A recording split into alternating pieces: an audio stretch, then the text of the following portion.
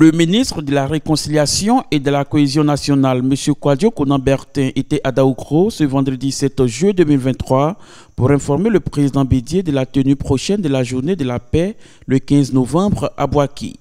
Selon le ministre de la Réconciliation, le président Henri Conan Bédier, en tant qu'initiateur de cette journée, il était important de venir prendre ses orientations et ses bénédictions.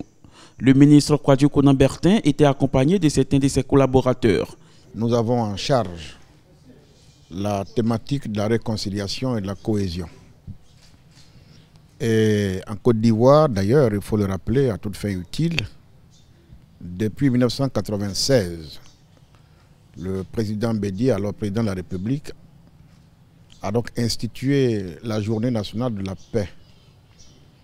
Ce qui fait que chaque 15 novembre, nous célébrons la paix en Côte d'Ivoire le président Alassane Ouattara a ajouté à cette thématique à la paix, le pardon et le souvenir.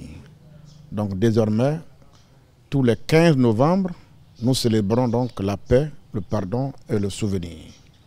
L'année dernière, nous étions donc à Diokwe pour célébrer la paix, le pardon, le souvenir.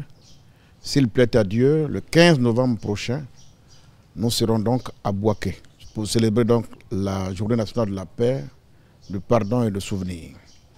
Boaké, vous le savez, traditionnellement, est composé de deux grandes communautés, les Baoulés autochtones et nos frères venus du nord, qui font le gros lot des populations qui habitent cette localité. Je ne peux pas initier une telle, une telle journée, manifestation, sans venir à la source, la source de celui qui lui-même a créé cette journée, pour prendre donc des conseils, aviser et demander sa bénédiction.